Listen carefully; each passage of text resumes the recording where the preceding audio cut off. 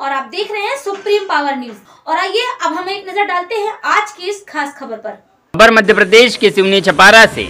बारिश में दीवार गिरने से दो मासूम की मौत। ग्राम भरिया टोला में दीवार गिरने से दो बच्चों की मौत, चार अन्य घायल।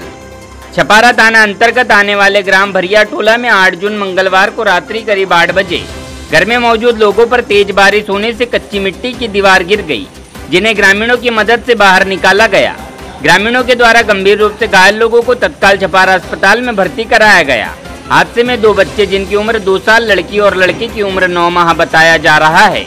उन्हें छपारा अस्पताल में लाया गया था। उन्हें डॉक्टर के द्वारा परीक्षण उपरांत मृत घोषित कर दिया।